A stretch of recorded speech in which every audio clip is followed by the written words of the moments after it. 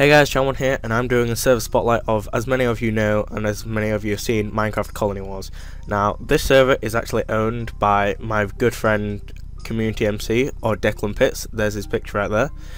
And when you start in the lobby, you'll actually get this book, which the 21 pages basically tell you everything you need to know. So when you go on, make sure you look at that if you're a noob.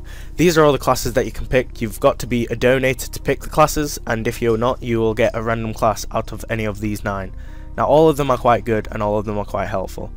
You'll be in any of these four teams, red, green, blue, or yellow, and when you spawn, what you basically want to do is get money for your team in order to build buildings. So, you can actually get money on this by either chopping down trees like I am right now. Uh, there will be different types of trees, or you can actually mine gold in the mine but make sure people don't block you out. So to get in this money you can actually build buildings like the mage tower or any of these uh, that are here except the town hall which you will actually spawn in.